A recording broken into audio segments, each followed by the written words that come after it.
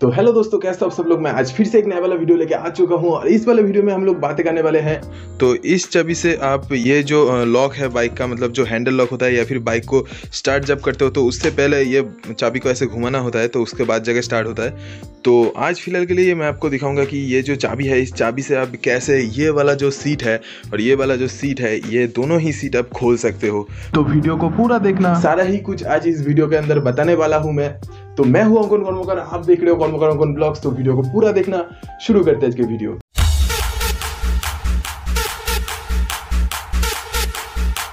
तो ये जो चाबी है, ये चाबी इधर देखो, एक लॉक लगा हुआ है। तो पहले तो इस लॉक के अंदर इस चाबी को ऐसे मतलब घुसा दो, उसके बाद जगह थोड़ा सा घुमा दो ऐसे। और उसके बाद जगह आपको एक चीज़ मैं दिखाता हूँ। ये जो कोना है तो इस कोने से एक लॉक है और इस जगह पर भी एक लॉक है। तो ये जो दोनों लॉक है आप देख सकते होंगे। तो ये जो चीज़ है ना, इसको अगर आप लोग ऐसे मतलब खींचोगे ज़ोर से तो ये जो चीज़ है ना टोटली मतलब टूट जाएगा। क्योंकि इधर भी एक फाइबर पार्टी है और इधर भी एक फाइबर पार्टी है और ये जो फाइबर पार्ट जिस चीज़ से कनेक्ट होता है तो वो एक मतलब मेटल टाइप कुछ है। तो इसी वजह से तो ये जो चाबी है, ये चाबी इधर देखो, एक लॉक लगा हुआ है।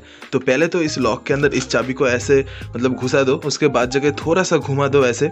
तो इधर अब खींच के देख सकते हो, ये हिल रहा है तो इसका मतलब ये खुल गया तो इस जो पार्ट है ना, इस पार्ट को पहले खुलना है। तो ऐसे तरीके से थोड़ा सा पुश करो। ये देखो, खुल गया। और ये देखो, जो पार्ट मैंने आपको बोला, ये देखो, ये मेटल पार्ट है। और ये एक क्लिप टाइप है। और ये देख सकते हो, ये प्लास्टिक पार्ट है। तो इसी वजह से अगर आप ज़ोर से खींचोगे तो ये टूट जाएगा। मतलब कि ये वाला जो पार्ट है, ये टूट जाएगा।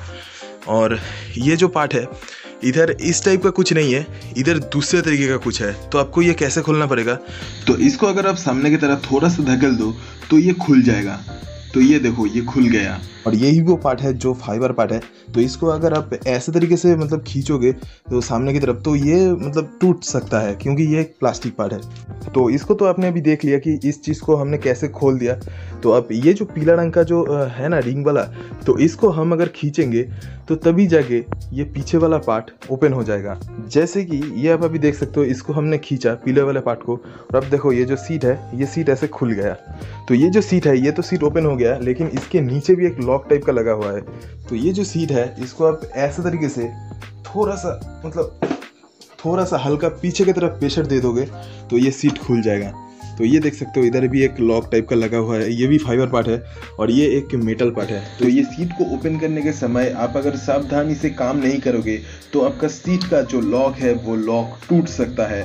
मतलब जो मेटल वाला लॉक है मैं उसका नहीं बात कर रहा हूँ जो ये फाइबर वाला जो लॉक है मतलब ये क्लिप टाइप का जो लॉक है तो, इस, तो इसके बारे में ही मैं बात कर रहा हूँ अभी। अब पीछे वाला सीट तो हमने खोल लिया अब जो सामने वाला सीट है तो उसको भी खोलेंगे। तो उसको जो खोलने का तरीका है तो वो सिंपल सा है। अब जो ये अभी सामने लाल वाला रिंग देख रहे हो ना तो ये लाल वाला रिंग को आप एक बार खींचोगे तो ये सामने वाला जो सीट है तो वो भी ओपन हो जाएगा। तो ये तो आपने अभी जान लिया कि ये जो सीट है इस सीट को कैसे ओपन करते हैं। तो अभी आपको ये भी जानना पड़ेगा ये जो सीट है इस सीट को आप कैसे ठीक तरीके से लगा सकते हो अपने बाइक के अंदर। तो ये जो लॉक है, इस लॉक को अब इस गैप के अंदर घुसाना है, पहले बात तो।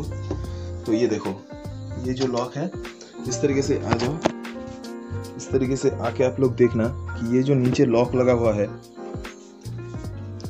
तो इस तरीके से आके देखना ये जो नीचे लॉक लगा हुआ है तो इस लॉक के अंदर इसको फिट कराना है। तो इसको इसीलिए पहले तो थोड़ा सा पुश करो और उसके बाद जाके सीट को मतलब थोड़ा सा आगे की तरफ़ ऐसे तरीके से पुश कर दो मतलब ऐसे तरीके से। तो अभी जो पीछे वाले सीट है तो पीछे वाले सीट को भी हम लोग इस जगह पर फिटिंग करेंगे।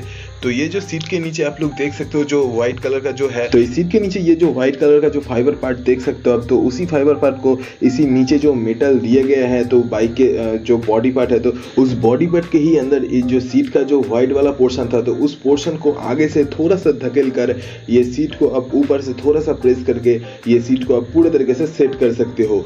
तो ये जो फाइबर पार्ट है तो इसको अब इसके अंदर कैसे फिट करोगे? मतलब ये जो जगह है इस जगह के अंदर कैसे फिट करोगे?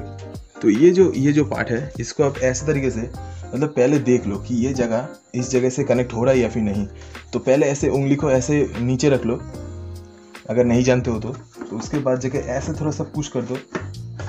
ये देखो ऐसे थोड़ा सा नीचे से तो ऐसे थोड़ा सा नीचे से सीट के सीट के नीचे से पुश कर दो।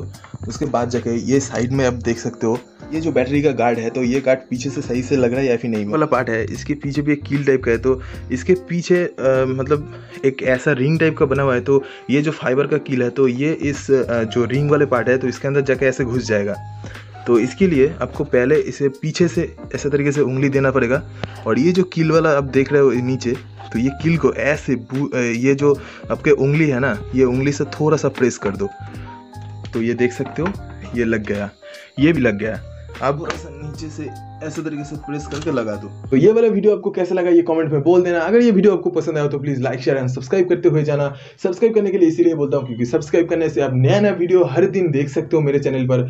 तो वीडियो देखने के लिए शुक्रिया फिर से मुलाकात होगा दोबारा। Thank you guys